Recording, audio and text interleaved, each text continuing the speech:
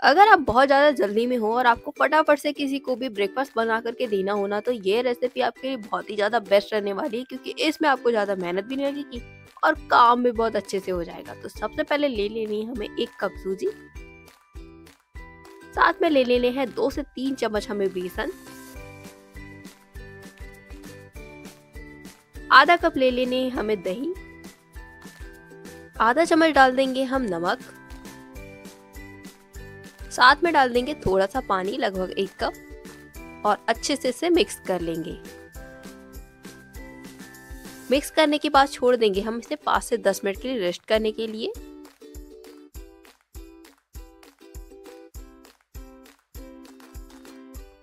अब इसने रेस्ट कर चुका है तो अब इसमें ऐड कर देंगे थोड़ा सा जीरा, थोड़े से प्याज, बारीक कटे हुए। ग्रेटेड की हुई गाजर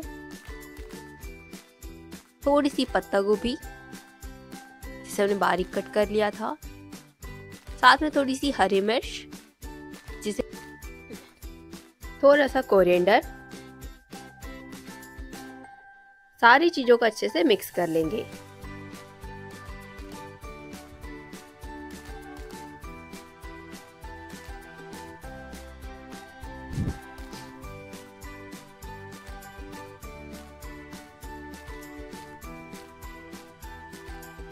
अब इसमें ऐड कर देंगे लगभग आधा चम्मच से भी कम थोड़ा सा बेकिंग सोडा और थोड़ा सा पानी डाल देंगे। और अच्छे से इन सबको मिला लेंगे।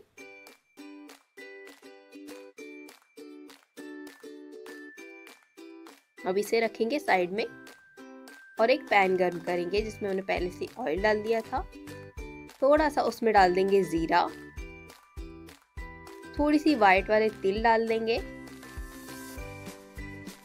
करी लीव्स डाल देंगे। और इन्हें अच्छे से रोस्ट होने देंगे।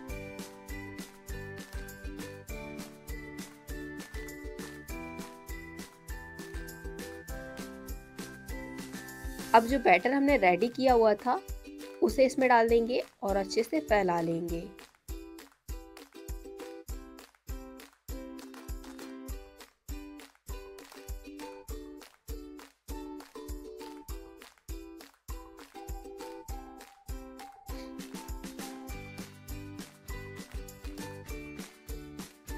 अब इसे ढक लेंगे दो मिनट के लिए। अब ढक्कन खोल लेंगे और इसे अच्छे से पलट लेंगे।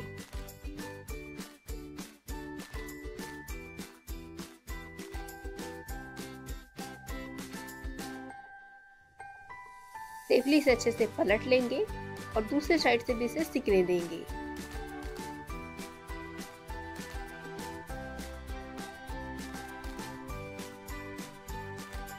अब इसे कट कर लेंगे।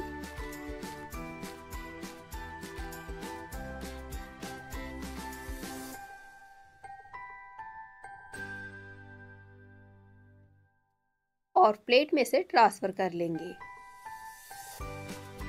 तो लीजिए, हमारा इंस्टेंट हार्डवो बनकर के बिल्कुल रेडी है।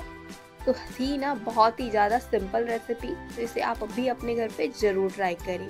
और यह रेसिपी अगर आपको पसंद आई हो तो प्लीज़ मेरे वीडियो को कर दीजिएगा लाइक चैनल को कर दीजिएगा सब्सक्राइब और बेल आइकन ज़रूर हिट करें और कमेंट करके मुझे ज़रूर बताएँ कि यह रेसिपी आपको कैसी लगी। Thank you